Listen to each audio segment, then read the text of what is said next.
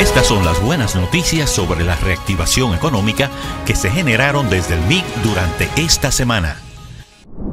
El presidente Luis Abinader se trasladó este martes a Buenos Aires, Argentina, acompañado de la primera dama Raquel Arbaje, el ministro de Industria, Comercio y MIPIMES, Víctor Ito Bisonó, el canciller Roberto Álvarez y el presidente de la Refinería Dominicana de Petróleo, Leonardo Aguilera, para cumplir una agenda de trabajo en la que se abordarán importantes temas relacionados al intercambio comercial con este país suramericano.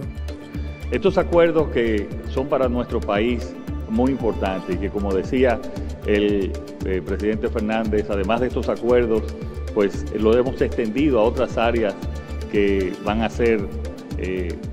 de mucha importancia para la República Dominicana y en colaboración también en extender esta tecnología de punta que hay en Argentina también a nuestro país. Este miércoles, el mandatario inició su jornada sosteniendo una reunión de negocios con empresarios argentinos coordinada por el canciller Santiago Cafiero en las instalaciones del Palacio San Martín. Durante la sesión de trabajo, los funcionarios Víctor Ito Bisonó y Roberto Álvarez expusieron las ventajas que posee la República Dominicana para el desarrollo del comercio y las inversiones. En el MIC somos mucho más.